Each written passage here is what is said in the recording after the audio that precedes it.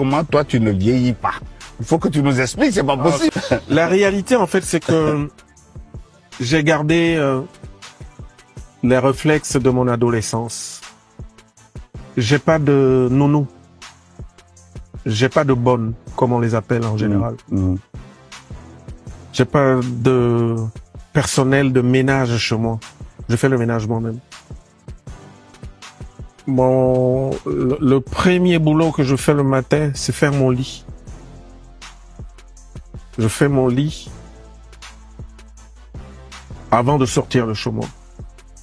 Je fais le ménage dans ma chambre. Personne ne rentre dans ma chambre. C'est moi qui fais mes chambres. Je lave mes dessous à la main, à l'ancienne. Pas dans la machine.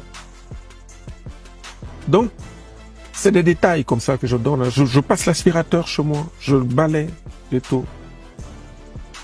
Je pense que c'est ça. Ça me maintient en activité. Et quand tu es en activité, forcément, tu élimines beaucoup de choses. Tu dégages beaucoup de calories. Et ça te maintient, je pense, Mhm. je pense. Mais c'est une grâce déjà d'être comme ça. Comparativement à quelqu'un qui est assis à la maison, qui a pris un certain âge, et qui se dit, bon, je vais prendre une nounou ou bien une bonne pour s'occuper de moi. Euh, Ndei, envoie-moi l'eau. Ndei, Kai, Kifi, Kai, euh, donne-moi de l'eau.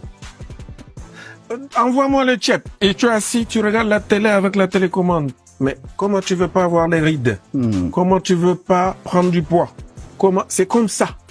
On, parle pas, Donc- on, a, on a dit on parle pas de poids. Ah, j'ai oublié. Couper, couper. Ouais. ok. Bon.